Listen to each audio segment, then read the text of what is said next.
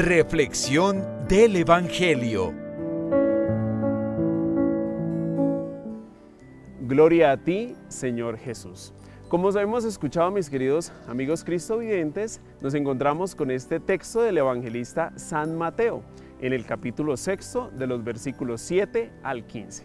Este evangelio, o mejor, esta perícopa evangélica, se enmarca en lo conocido como las buenas obras, las indicaciones que hace Jesús a las buenas obras. Normalmente este Evangelio lo escuchamos durante el tiempo de Cuaresma, porque allí el Señor nos va a recordar esas buenas obras de hacer limosna, de hacer ayuno y de manera especial en la perícopa que hoy estamos reflexionando, estamos hablando sobre la oración. Los discípulos le piden al Señor que les enseñe a orar. Y lo primero que Él nos va a decir en el versículo séptimo es cómo no hacerlo, es decir, cómo no orar. Y él va a señalar a aquellos fariseos que con un tanto de hipocresía oran delante de todo el mundo para que los vea, simplemente buscando resaltar una fachada, pero su interior, su corazón, ¿cómo está? El Señor lo primero que quiere señalar, mis queridos amigos cristovidentes, es que debe haber una disposición de corazón. No solamente algo exterior, sino que nuestro corazón debe estar preparado para comunicarnos con Dios. Por eso es fundamental siempre que vayamos a acercarnos a la oración, siempre que nos queramos comunicar con Dios, pedir la iluminación del Espíritu Santo.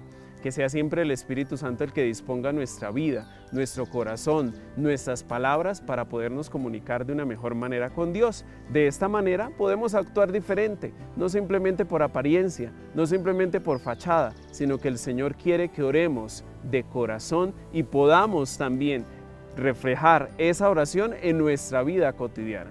Muchas veces nosotros eh, quizá oramos, vamos a la iglesia, nos arrodillamos ante el Santísimo y eso está muy bien, está bien que lo hagamos y que oremos cada día al iniciar la mañana, que oremos en la noche cuando va terminando nuestro día y demos gracias al Señor por lo que nos otorga, pero que eso también se vea reflejado en nuestro testimonio con nuestros seres queridos, que la oración nos lleve a cambiar de vida. Esa es la primera instrucción que el Señor nos da, que no sea algo de apariencia, sino que sea algo que genere cambio en nuestra vida.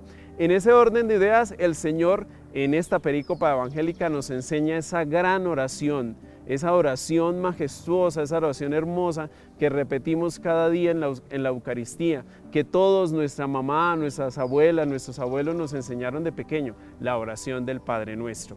Que a veces nosotros, por el correr de tiempo, por hacer las cosas rápido, por prontitud, la hacemos muy rápido, pero resulta que si tú te tomas un tiempo para revisar cada palabra, cada frase, cada petición que hacemos en esta oración del Padre Nuestro, nos daremos cuenta de ese sentido teológico, ese amor que hay allí en esa oración, eso que le estamos pidiendo al Señor, que también nos compromete a nosotros como cristianos. En un primer momento decimos Padre Nuestro, y precisamente es el nombre que lleva esta oración.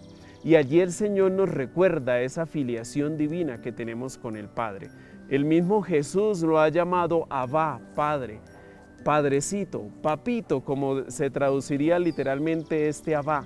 Nos dice el Señor, Dios también es tu papá. Y no dice Padre mío.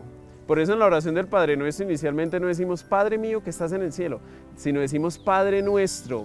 Esto que lleva, mis queridos amigos cristovidentes, a reconocer que Dios es mi Padre, pero también el otro es mi hermano. Cuando yo digo Padre nuestro, estoy reconociendo que tengo un compromiso en reconocer a la vez que el otro es mi hermano. Y por lo tanto debo acercarme a Dios como quien se acerca a un padre, a pedirle consuelo, a pedirle cariño. El Señor siempre va a estar como ese Padre misericordioso con los brazos abiertos, esperando que nosotros lleguemos arrepentidos a buscar de su amor. Pero en esa reciprocidad de la búsqueda, del amor, de la misericordia de Dios, me tengo tengo que estar comprometido con el otro. Tengo que estar atento a que el Señor me invita a reconciliarme con el otro. Y finalmente, eso, ese es el mensaje del texto evangélico del día de hoy, porque también en el Padre Nuestro rezamos, Señor, perdona nuestras ofensas como nosotros perdonamos a los que nos ofenden. Si hoy nos preguntáramos realmente en nuestra vida que el Señor nos perdona a medida que nosotros perdonamos, si estaremos brindando, si estaremos correspondiendo a esa misericordia, a ese perdón que el Señor nos otorga en la medida en que nosotros perdonamos a los que nos ofenden. No pidamos al Señor aquello que nosotros no podemos dar.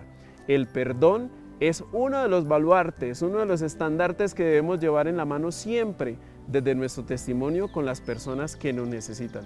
Empezando por un perdón de corazón, perdonarnos a nosotros mismos. Muchas veces nosotros incluso nos damos muy duro con aquellas cosas negativas que hacemos, con aquel pasado que quizá aún nos atormenta. Perdonemos nuestra vida, perdonemos nuestro corazón. Y uno de, los temas principales de este Evangelio hoy, mis queridos amigos cristovidentes, es precisamente ese. El Señor nos llama a perdonarnos. Si nosotros le pedimos al Dios, al Dios del amor, al Dios de la misericordia, que tenga misericordia, que nos perdone, es porque también nos comprometemos a cada día perdonar y a fortalecer ese don que el Señor nos ha dado de la misericordia con los que necesitan, con los más necesitados, con aquel que nos pide auxilio, con aquel que nos pide ayuda. Nuestra sociedad hoy necesita más reconciliación. Nuestra sociedad hoy necesita más perdón y eso está desde las pequeñas obras en nuestras manos. Por eso que les invito para que esta noche y de aquí en adelante, cada vez que recemos el Padre Nuestro, recordemos que tenemos un compromiso con Dios, pero también un compromiso con el hermano, que es perdonar. Que el Señor les bendiga, que el Señor les guarde, que el Señor les muestre su rostro y tenga misericordia de ustedes y que Dios siempre los protege y, que les brinde en su corazón el deseo de siempre perdonar. Un saludo fraterno de paz y bien. Dios les bendiga.